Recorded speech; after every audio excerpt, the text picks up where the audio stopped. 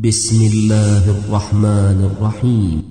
ألهاكم التكاثر حتى زرتم المقابر كلا سوف تعلمون.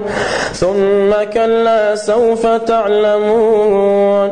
كلا لو تعلمون علم اليقين لترون الجحيم.